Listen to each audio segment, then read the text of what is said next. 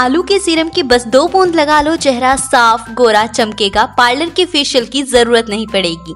Hello guys welcome to my channel beauty secrets Hindi आज का video है उन सब के लिए जिन्हें प्रॉब्लम है डेड स्किन सेल्स की रफ स्किन ब्लैक स्किन और इन सब प्रॉब्लम्स को दूर कर पाना चाहती हैं बहुत ही क्लियर ग्लोइंग और ब्राइट स्किन तो शुरू करती हूँ ये वीडियो और आपको मैं आज आलू का सीरम बनाकर दिखाऊँगी जो कि आपकी त्वचा को चमकदार फैर और बेदाग बनाने में हेल्प करेगा।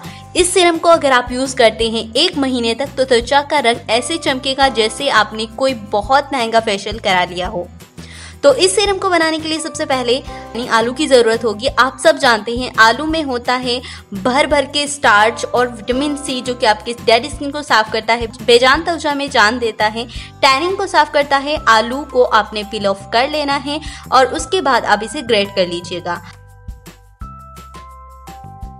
आलू को अच्छी तरह से ग्रेट कर लेने के बाद आपको चाहिए रोज वाटर इक्वल क्वांटिटी में आप ऐड करें रोज वाटर इस सीरम को आगे बनाने से पहले अगर आपने अभी तक ब्यूटी सीक्रेट्स हिंदी चैनल को सब्सक्राइब नहीं किया तो प्लीज़ व्यूवर सब्सक्राइब कर लीजिएगा, जिससे कि आने वाली इंटरेस्टेड वीडियोस की नोटिफिकेशन आपसे मिस ना हो।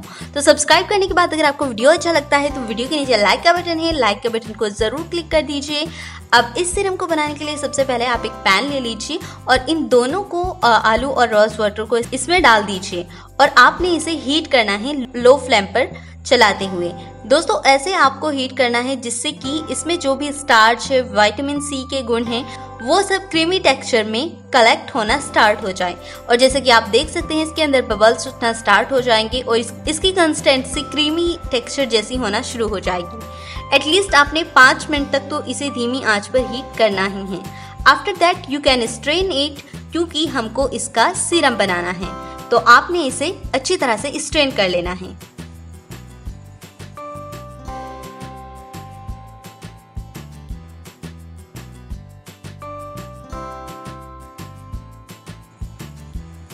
अब अब फ्रेंड्स हमने इसमें यूज़ करना है रोज वाटर सबसे खास बात होती है रोज वाटर की, ये ऑल स्किन टाइप को सूट करता है।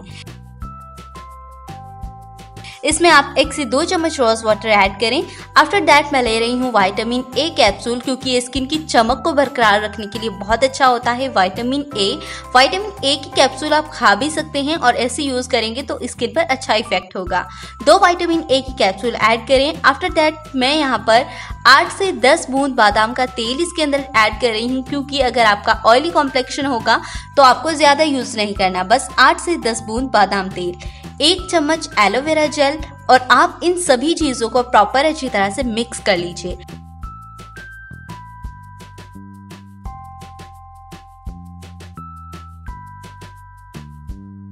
इस सिरम की शेल्फ लाइन होगी सिर्फ़ सात से आठ दिन। वो भी आप इसे फ्रिज में स्टोर करके रख सकते हो।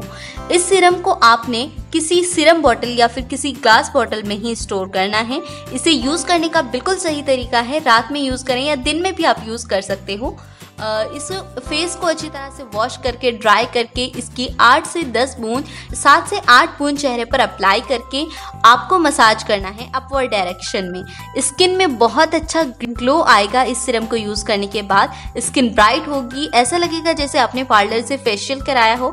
बट अगर आप इसे कंटिन्यू यूज़ करते जाएँगे तो आपकी स्किन बहुत बहुत ज़्यादा ग्लोइंग सुपर ब्राइट और बहुत ज़्यादा क्लियर होना शुरू हो जाएगी। तो ज़रूर ट्राई कीजिए, मेरा ये potato skin lightening serum I hope मेरी ये वीडियो आपको अच्छी लगी हो तो इसे लाइक शेयर ज़रूर कीजिएगा.